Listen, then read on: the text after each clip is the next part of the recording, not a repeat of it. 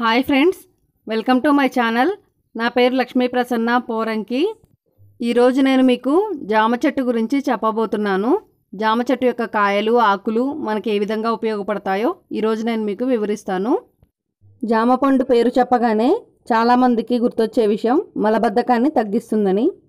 బాగా మగ్గిన జామ పండును తీసుకొని కొద్దిగా నిమ్మరసం మిరియాల పొడి చల్లుకొని తింటూ ఉన్నట్లయితే మలబద్ధకం అనేది తగ్గుతుంది. ప్రతిరోజు జామ పండును తింటూ ఉన్నట్లయితే జ్ఞాపక శక్తిని పెంపొందిస్తుంది. జామాకుల్ని నీటిలో వేసి బాగా మరిగించి ఆ నీటితో స్నానం చేసినట్లయితే ఒళ్ళు నొప్పులు అనేవి తగ్గుతాయి. కాలిన గాయాలకు జామపండు గుజ్జును రాసినట్లయితే నొప్పి నుంచి ఉపశమనం లభిస్తుంది. జామాకుల్ని బాగా మెత్తగా రుబ్బి చిటికెడు ఉప్పు కలిపి ముఖానికి పట్టించినట్లయితే మొటిమల సమస్య అనేది తగ్గుతుంది.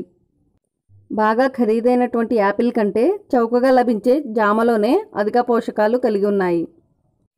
జామ పండును నిత్యం తింటూ ఉన్నట్లయితే ముసలితనం అనేది త్వరగా రాకుండా ఉంటుంది. ఎందుకంటే ఇది మేని ఛాయను కూడా పెంపొందిస్తుంది. ఆడవారు నిత్యం జామ పండును తింటూ ఉన్నట్లయితే ఋతు సంబంధిత సమస్యలన్నీ తగ్గుతాయి. జామాకు కషాయాన్ని ఉదయం పరగడుపున తాగుతూ ఉన్నట్లయితే చక్కెర వ్యాధి అనేది నియంత్రణలోకి వస్తుంది. అలాగే ఎలాంటి అనారోగ్యాలు దరిచేరవు. నోటిపూతతో బాధపడేవారు జామాకుల్ని నమిలినట్లయితే చాలా చక్కటి ఫలితాలు వస్తాయి కడుపులో వికారం వాంతులు వంటి సమస్యలతో బాధపడుతూ ఉన్నవాళ్ళు దూరగా పండినటువంటి జామ పండును తింటూ ఉన్నట్లయితే క్రమంగా ఆ సమస్య దూరమవుతుంది.